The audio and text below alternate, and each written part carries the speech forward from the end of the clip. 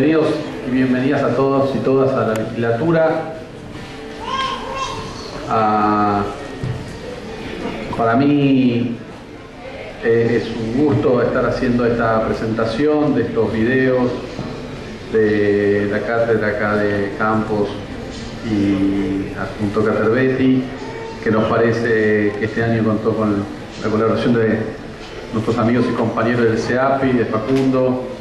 Eh, la verdad que son trabajos muy interesantes, con un lenguaje que debería eh, muy importante en estos momentos y además que eh, es una, creo que en estos tiempos tan mundo 2.0, tan visuales, es una estética y un lenguaje de comunicación que deberíamos usar más desde la política porque nos ahorran palabras y nos permiten comunicar con mucho mayor intensidad ideas, emociones, sensaciones, eh, proyectos de cambio. Y creo que acá muchos de esos videos están reflejando mucho trabajo, mucha lucha, con diferentes, está muy bueno eso de ver la misma experiencia relatada con diferentes técnicas de diferentes lugares, porque eso habla de cómo cada uno lo traduce, cada uno lo hicieron, y la verdad que está muy bueno, está muy buena también la apuesta que, definieron acá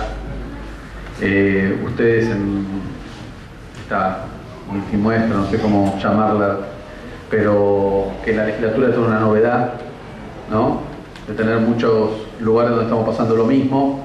Está bueno, está bueno sacarle, siempre hacemos actos con unas mesas grandes, y todos hablando y, la gente sentada ahí, esto, desestructurar un poco esto. Nos falta el champán y, los sanguchitos, pero no nos llegó tanto. Buenas tardes a todos y a todas, gracias por estar. Eh, la verdad que el, producto que estamos viendo, el, trabajo de, de los estudiantes superó ampliamente las expectativas. Esta iniciativa surgió en un vínculo con, Jorge en un principio, a través de un amigo, Bebe, que está por acá, que contando inquietudes y necesidades de poder difundir algunas problemáticas de, situaciones críticas que vive la ciudad, o de barrios vulnerables, o de cooperativas, eh, con la idea de hacer un vínculo con la universidad y que, los estudiantes se involucren con esas, con esas historias.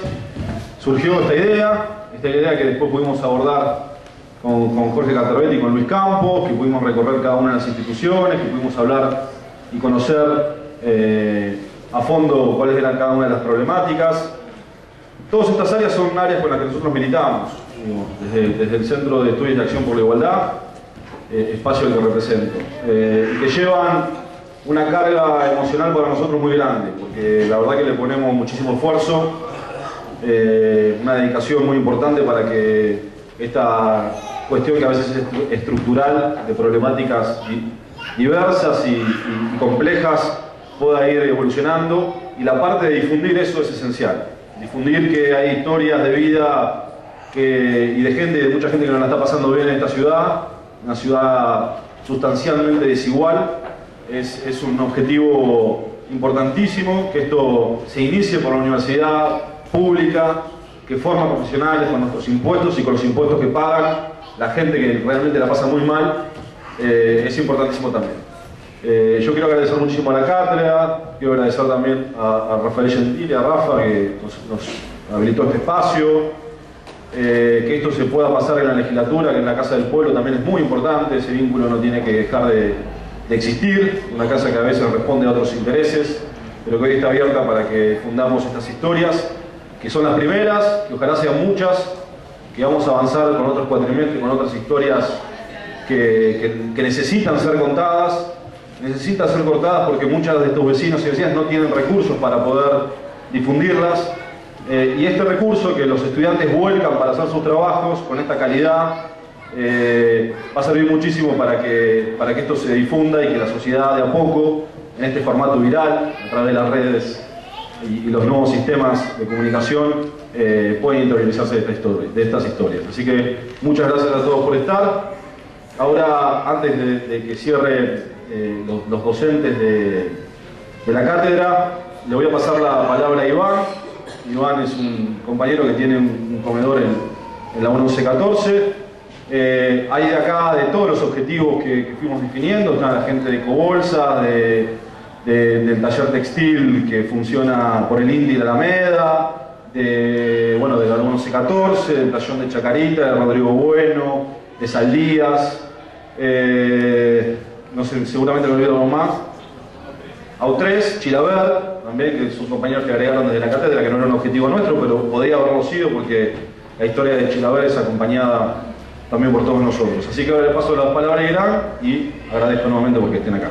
Eh, gracias a, a, los alumnos que, estuvieron acompañándonos, gracias a los profes que pudieron, la verdad que está bueno poder mostrar el trabajo que venimos haciendo en los barrios, eh, es verdad, no tenemos los recursos pero sí está bueno que, puedan ver eh, la, los distintos trabajos que venimos haciendo en los barrios para poder volver a, armar ese tejido social que, se necesita. ¿no? Ante todo, esto se suele decir que es producto de la universidad pública libre y gratuita, de la educación pública libre y gratuita.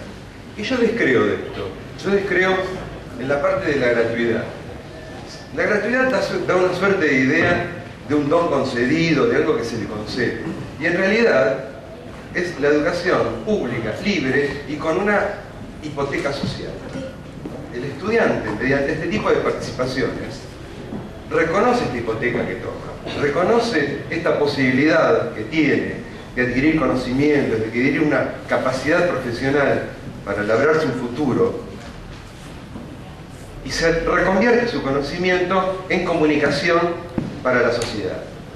Ya no piensa en promocionar solamente alfajores, galletitas, chocolates, sino promocionar las cosas que necesitan ser promocionadas, lo que necesitan una promoción de otro orden, una comunicación que apele a la belleza, que apele al conocimiento, que apele a la difusión, que apele sencillamente, compartamos esta experiencia. Eso es lo que tratan de decir estas veintipico de piezas que hemos seleccionado para esta presentación de casi 30 o casi como 40 trabajos han hecho los estudiantes.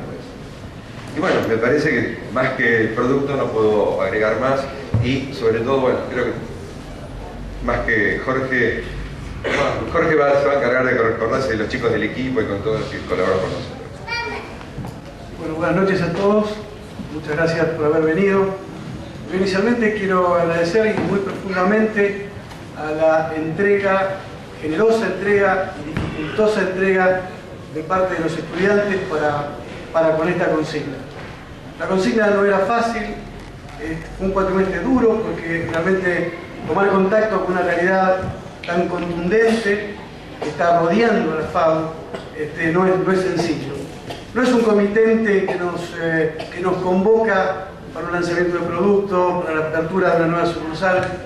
Estos son comitentes que nada más y nada menos que producen valores morales, producen justicia, producen esperanza. Entonces relacionarse con una especie, con un comitente de estas características requiere de una hidalguía, de un respeto, de un compromiso que lograron, por cierto, que lograron este, alcanzarlo y lo lograron alcanzar en plenitud. Porque además este trabajo tenía sus riesgos, que era el caer en piezas de alguna manera banales, políticamente correctas, pero sin compromiso. O el otro riesgo, transformar este trabajo en un panfleto este, hirviente de sangre, que reviente en proclamas. Y creemos que tampoco esa era la idea de la cátedra. Yo me acuerdo en este momento de, un gran personaje de la cultura nacional, que fue quien dirigió el Instituto de Itera en su momento, Jorge Romero Ores, que me acuerdo que una vez le preguntaron este, qué era la ideología. Él dijo, una ideología es una idea cuando se dejó de debatir. Y nosotros en la cátedra creemos que el debate esté permanente y los trabajos han superado el tema ideológico para transformarse realmente en, una, pieza de divulgación de una realidad que nos duele y nos duele en todos lados. Así que chicos, realmente muchísimas gracias por este aporte, por este esfuerzo enorme. Y el otro agradecimiento también muy profundo es a la cátedra en pleno que ha trabajado cuerpo a cuerpo con los chicos para llegar a este objetivo. A nuestro JTP, Sergio Ronginotti, a Ronginotti, a, este, a Agustín Ratti, a Pablo Berkovich, a Bruno este, Grupali, a todos realmente muchísimas gracias por el esfuerzo puesto y este, bueno, esperamos que el cuatrimestre que viene seguir replicando este esfuerzo y llegar a objetivos de estas características. Muchas gracias a todos por haber venido, gracias diputado, gracias Facundo y gracias a todos, realmente, muchas gracias.